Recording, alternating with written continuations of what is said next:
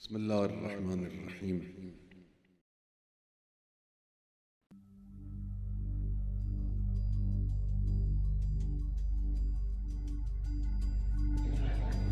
در یک روایتی است که رسول خدا که مبعوث شد اون شیطان بزرگ فریاد کرد و شیطانها را دور خودش جمع کرد و اینکه مشکل شد کار برمون در این انقلاب شیطان بزرگ که آمریکاست شیاطین را با فریاد دور خودش دارد جمع می‌کنه و چه بچه شیطان هایی که در ایران هستند و چه شیطان هایی که در خارج هستند جمع کردن و هیاهو براه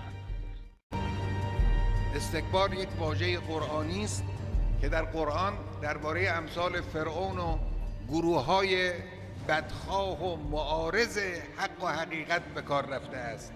تا امروز هم استکبار وجود دارد در گذشته هم بوده است. استخوانبندی استکبار در همه دوره ها یکیست البته شیوه ها و خصوصیات و روش ها در هر زمانی تفاوت می‌کنه.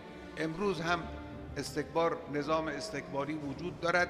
رأس استکبار هم در دنیا دولت ایالات متحده آمریکاست. امام بزرگوار فرمود آمریکا شیطان بزرگ است. این شیطان بزرگ خیلی حرف پرمغزی است. رئیس همه شیطانهای عالم ابلیس است.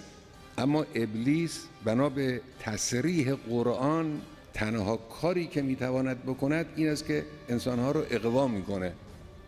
بیشتر از اقوا کاری نمی‌توانه بکنه انسانها رو اقوا می‌کنه فریب میده وسوسه می‌کنه. اما آمریکا هم اقوا می‌کند هم کشتار می‌کند هم تحریم می‌کند هم فریب می‌دهد هم ریاکاری می‌کنه.